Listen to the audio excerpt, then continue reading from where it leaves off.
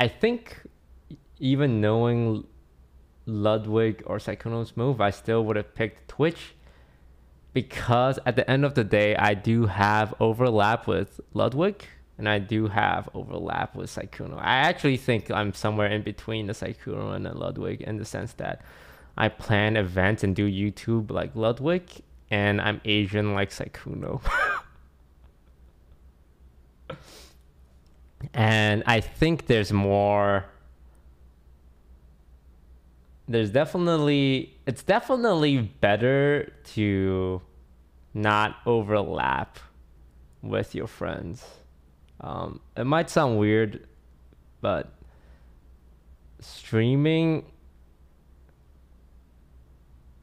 I've always said streaming when it comes to viewers, you mostly just watch one stream at a time.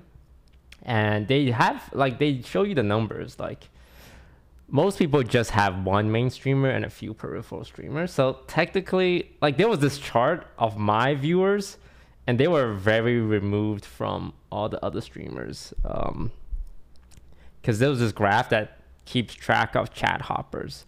And I think in the OTV and friend circle, I was very removed from everyone in the sense that my viewers tend to just watch me, um, which I take as a compliment because to be fair, you re- you need a pretty high IQ to understand my kind of humor. Someone gave you 10k bits. Who am I banning? Who gave me 10k bits? Who was it? 10k bits and no messages. You are for sure catching a ban, sir. What's your name? You think you're some kind of Giga Chad? Just because you got 10k bits lying around? What's your name? No, tell me your name. Tell me your name. Tell me your name.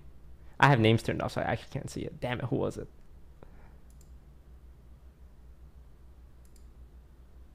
Who was it? Christmas BTS? What kind of name is Christmas BTS? Like BTS behind the scenes or BTS the band? Wait, is it is that BTS? I went to a store, um, the Line store on Hollywood, and they have the handprints of the members from BTS.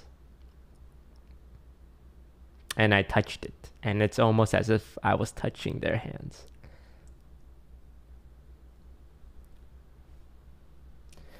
Miss Sonza, thanks for the sub. Pac Man GG, uh, Joe TCF,